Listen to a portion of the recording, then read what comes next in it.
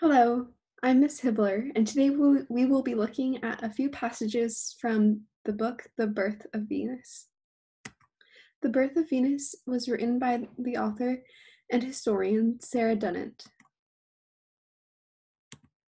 She writes from the perspective of a young girl, the daughter of a fabric merchant during the Renaissance period. This book is a forbidden love story between the daughter of the fabric merchant Alessandra and a painter that comes to her family home.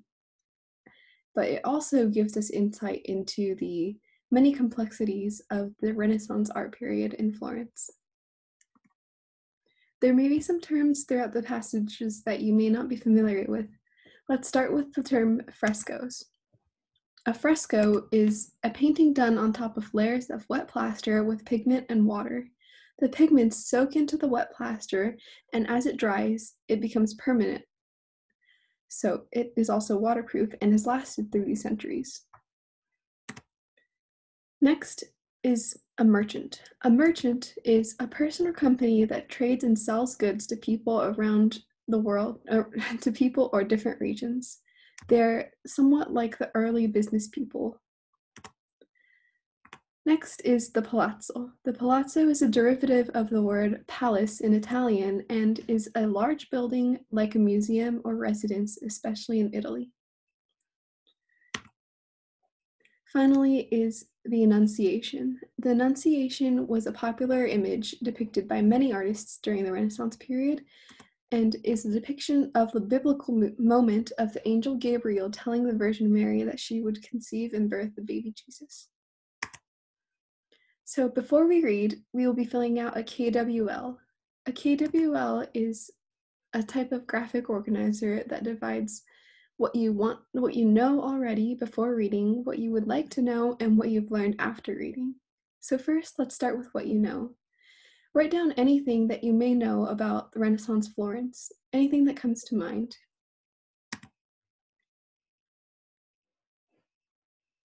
Next, write down what you want to know. What do you hope to learn through this these excerpts about Renaissance Florence? Finally, let's get started reading.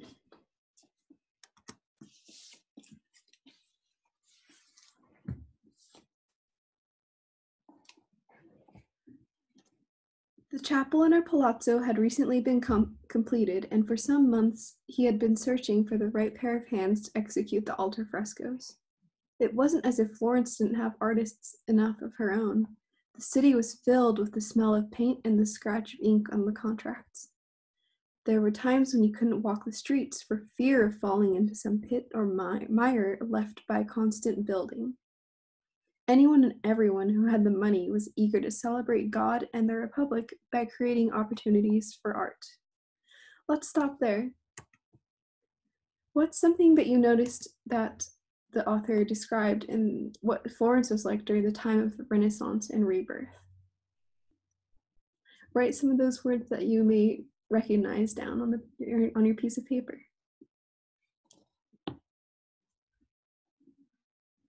Some words that may have jumped out were the smell of paint and the scratches of ink on the contracts. There was constant building, and everyone was eager to celebrate God and the Republic by creating opportunities for art.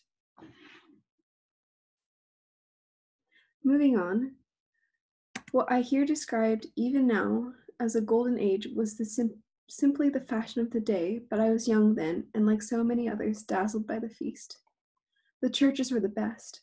God was in the very plaster smeared across the walls in readiness for the frescoes. Stories of the Gospels made flesh for anyone to, with eyes to see, and those who looked saw something else as well. Our Lord may have lived and died in Galilee, but his life was recreated in the city of Florence. The angel Gabriel brought God's message to Mary under the arcs of Brunelleschi and Loggia, and the three kings led processions through the Tuscan countryside and Christ's miracles unfolded within our city walls. The sinners and the sick of Florentine dress, and the crowds of witnesses dotted with pub- public faces, a host of thick chinned, big nosed dignitaries staring down from the frescoes onto their real life counterparts in the front pews. What were some important aspects of life to the Florentine people that the author focuses on throughout this passage? Yes, definitely religion. Religion was a huge part of the art in Florence, the rebirth of the birth the rebirth during the Renaissance. The people would recreate these images that we know to have been in Galilee, as the author writes, but they recreate it in a way to depict it as part of the Florentine city.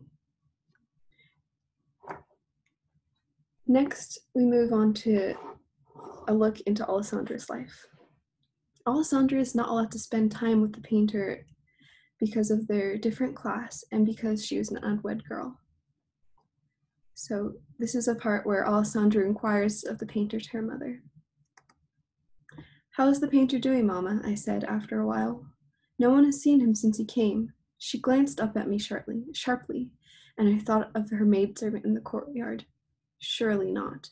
The encounter had taken place weeks before. If she had seen me, I would have known about it before now. I think it has not been easy for him. The city is raucous after the silence of his abbey. He has suffered from the fever, but he is recovering now and asked to be given leave to study some of the city's churches and chapels before he continues with his designs. I dropped my eyes in case she should notice a spark of interest. How could he how could he could always come with us to service, I said, as if the matter not a jot to me.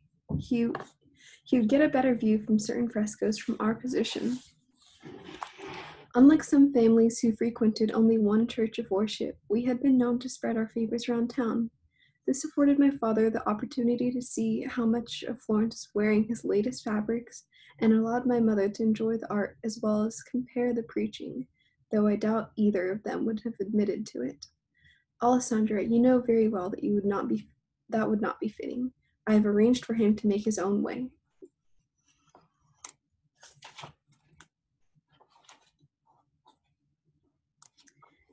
At nightfall, Alessandra is walking about, unable to sleep. From the side of our house, a figure emerged into the main street, his body briefly illuminated in the glow of the torches. He was long and lanky, with a cloak pulled tight around him, but his head was bare, and I caught that certain flash of whiteness in his skin. So, our painter was going out into the night. He would see little enough art at this hour. What was it my mother had said? that he was finding the city raucous after the stillness of the abbey. Maybe this was his way of sucking in silence. Though there was something in the manner in which he walked, head down, eager to lose himself in the dark, that spoke more of purpose than atmosphere.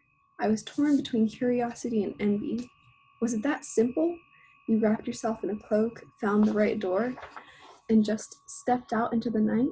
If he moved fast enough, he could be at the Cathedral of Santa Maria del Fiore in ten minutes, then cross by the baptistry and head west towards Santa Maria Novella, or south to the river, where you may be able to hear the chatter of women's little bells. Another world. Let's pause. What was the main character how was the main character Alessandra treated, and what was expected of her by her family? Write down anything you've noticed through this excerpt. The next day, Alessandra is sitting for the painter to study for her his painting. This is set in the church on their property. In its raw state, the room has little of God about it. He had cordoned off a small part of the nave, the head of the church, where the sunlight comes through the side window, falling directly in a broad band of gold. He himself sits in the shade by a small table on which is paper, pen, pen and ink, and some newly sharpened stalks of black chalk. I come in slowly, with old Ludovica behind me. He stands up as we come in, his eyes on the ground. Ludovica's gouty age makes us progress slow, and I have already asked for a comfortable chair to be placed for her nearby. At this time of day, it will only be a matter of time before she falls asleep. then no doubt forgets that she has done so. She is of invaluable assistance to me during such moments. If he remembers our last meeting, he does not he he does nothing to show it. He gestures me to a small dais in the light with a high-backed wooden chair placed at an angle so that our eye line will not cross. I take a step up, already self-conscious about my height. I think we are as nervous as each other. Shall I sit? As you wish, he mumbles, still not looking at me directly. I arrange myself in a pose I have seen from the woman in the chapel portraits back straight, head high, and my hands folded across my lap. I am not sure what to do with my eyes. For a while I look straight ahead, but the view is dull and I drop my gaze to the left, from where I can see the lower half of his body. The leather at the bottom of his hose, I notice, is badly worn, but the shape of his leg is good, if a little long, like my own. As I sit there, I become aware of the odor of him, much stronger this time, an earth smell mixed with sourness, almost kind of rotting about it. It makes me wonder what he has been doing the night before to have such a stench upon him. Clearly, he does not wash enough. It is something I heard my father remark about foreigners. But to draw attention to this now would stop any chance we might have of conversation. I resolve to leave it to Plautilla, my sister. The stink will almost certainly drive her mad. Time passes, it's warm there under the sun. I glance up at Ludovica. She has brought some embroidery and is still sitting, that is still sitting on her lap. She puts her needle down and watches us for a while, but she has never shown much interest in art, even when her eyes were good enough to see it. I count slowly to 50, and by 39, I hear her breathing start to rumble in her chest. In the silence of the chapel, she sounds like a great cat purring. I turn to look at her, then glance across at him. In today's light, I can study him better. For a man who has spent the night wandering the city, he looks well enough. His hair is brushed, and if it its style is so long, too long for current Florentine fashion. It is still thick and healthy, his complexion even paler against its richness. He is long and thin, like me, but is less of a fault in a man. He has broad, fine cheekbones, and his eyes are almond shaped and have almost a marble effect, gray green flecked with black, so that I am reminded of a stare of a cat. He is not like any other man I have seen before. I do not even I do not even know if he's good looking, though that may more be more to do with the way he keeps himself hidden inside. Apart from my brothers and my tutors, he is the first man I've ever been in such close proximity to, and I can feel my heart thudding inside my chest. At least, sitting, I am less like a giraffe, though I am not sure he notices. While he is looking at me, he doesn't seem aware of me at all. The light shifts around the dais to the intermittent scratching of chalk on the page each line careful, considered, the rest of a singular communion between the eye and the hand. It is a vibrant kind of silence that I am familiar with. I think of all the hours I've spent in a similar pinpoint concentration, my fingers bent around a sharpened pebble or black chalk, trying to capture the head of a sleeping dog on the stairs, or a st- strange ugliness of my own naked foot, and it makes me more, more patient than I might otherwise have been. My mother says you've had the fever, say at last, as if we were relatives who had been talking for an hour and just fallen silent that very second. When it is clear he is not going to answer, I think about bringing up his nocturnal wanderings, but I can't decide what to say. The sound of his chalk continues. I move my eyes back to focus on the chapel wall. The quiet is now so profound I begin to think we will be here we will be here forever. Though eventually Ludovica will wake, then it will be too late. You know, if you are to succeed here, painter, you may have to speak a little, even with women. His eyes flicker to one side so that I know he takes the words in, but even as I say them, they seem too crude and I feel embarrassed for myself. After a while, I stir in my seat, shifting my pose. He stops, waiting for me to be still again. I make a little noise. The more I try for stillness, the more uncomfortable I feel. I stretch myself further. He waits again. Only now I'm alert of the possibilities of mischief. If you will not talk, I will not sit properly. As I settle, I bring my left hand up in front of my face, deliberately obscuring his view. Hands. They are always difficult, so bony, yet fleshy at the same time. Even the greatest of our painters have trouble with them. Yet immediately he's drawing again. this time such intense scratching that the noise makes me hungry for paper. After a while, I get bored with my failure and put my hand back into my lap, flexing my fingers upwards until they stand up like a monstrous spider legs upon my skirt. I watch the knuckles go white and see a single vein throb up against the skin. How strange the body is, so full of itself. When I was younger, we had a Tartar slave girl, a fierce character who suffered from fits. When they came upon her, she would fall rigid on the ground in spasm, her head flung back so far that her neck strained and stretched till it looked like that of a horse, and her fingers clawed at the floor. Once she made foam come out of her mouth, and we had to put something between her teeth so she did not swallow her own tongue. Luca, who I now think was always more interested in the devil than God, believed that she had been entered by a demon, but my mother said she was ill and should be left to recover. My father sold her later, though I am not sure that he was entirely honest about her health. Even if it was illness, it could have easily passed for possession. If one had to paint Christ casting out devils, she would have made a perfect model. Ludovica is snoring loudly. It will take a thunderbolt to rouse her. It is now or never. I stand up. May I see what you have made of me? I feel his body go rigid. I can see he wants to hide the paper, but he also knows it would not be proper. What can he do? Pick up his equipment and run out? Attack me again? He would not be on a mule back to the northern waste if he had done that. And underneath all the silence, I did not think he was stupid. My courage deserts me at the table edge. He's so close I can see the dark stubble on his face, and the sweet rank smell on him is acute now. It makes me think of the decay and death, and yet I remember his violence from the time before. I glanced nervously at the door. What would happen if someone came in? Maybe he was thinking the same thing. In one awkward movement, he pushes the board across the table face up so that I can see it without moving any further towards him.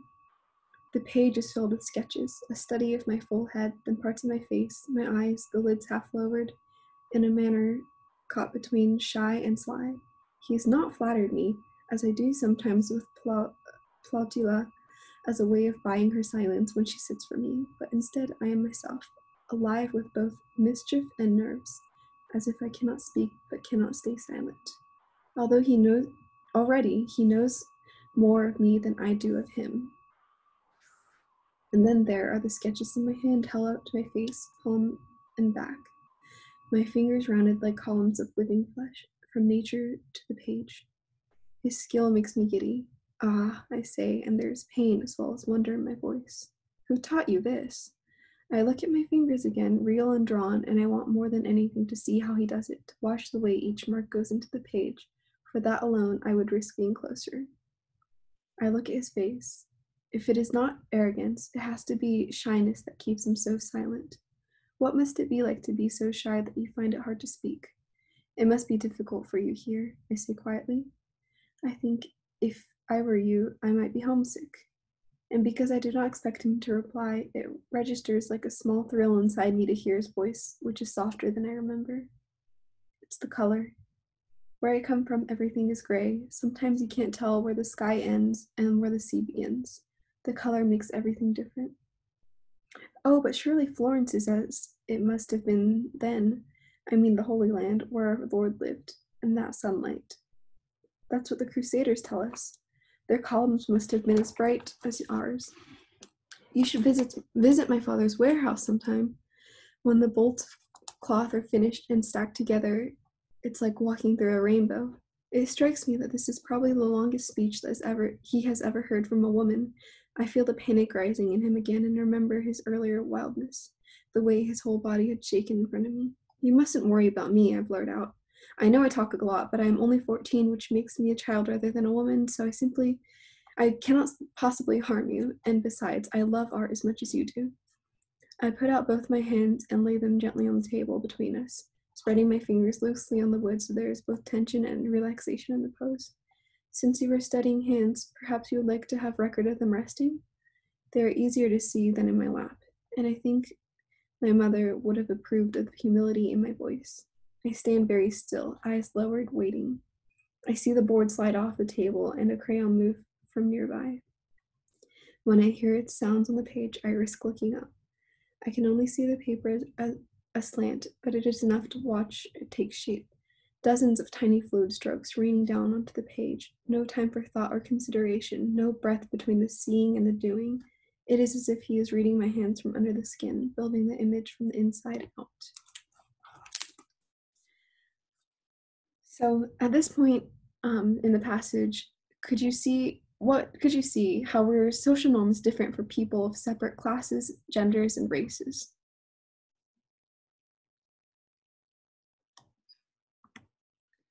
Next, let's finish our KWL. Think of something that you learned or something that surprised you and write it down.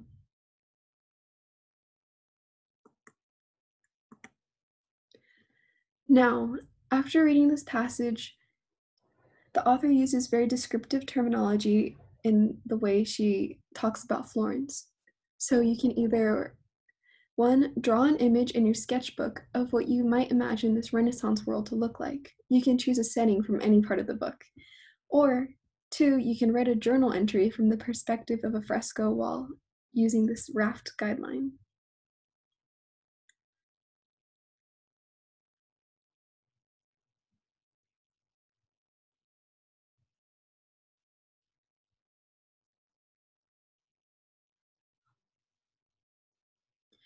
So you'll take the part of a fresco while being prepared for yet another artist to smother you in plaster and start painting. You're writing in your journal, recording your day as a Florentine wall, and you have freedom in choosing the option of how um, what you decide to write about. It can be about the process of the fresco, which is pretty tedious and long, or it can be about anything that you've seen during the day, some something or someone that you saw as wall.